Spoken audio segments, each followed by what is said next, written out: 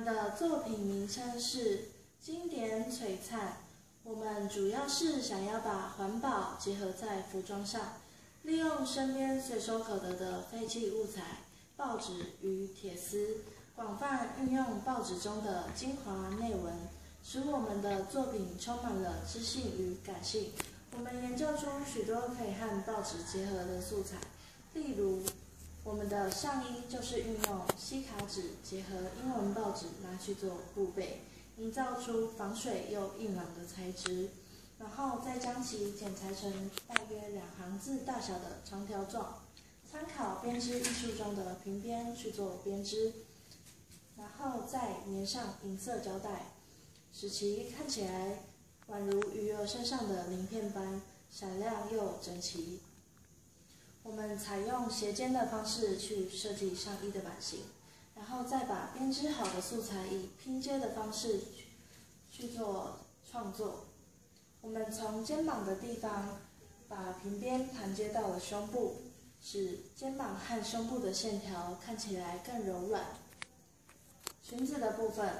我们首先先用铁丝架构出裙子的构造，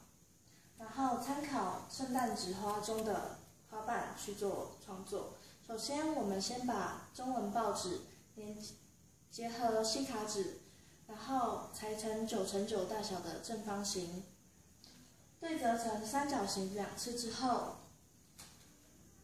横向往上剪三刀，正反交替。粘贴形成一个花瓣，在四边的部分都加上银色胶带做点缀。完成之后，大量制造，使用订书机和鱼线连接成一串一串的。然后我们试过很多种排列的方式，最后还是以前短后长型去呈现。华丽雍容的感觉。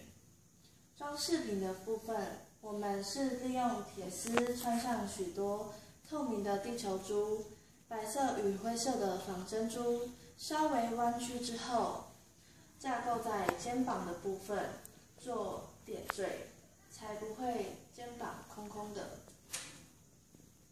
我们整体是以非常华丽的感觉呈现。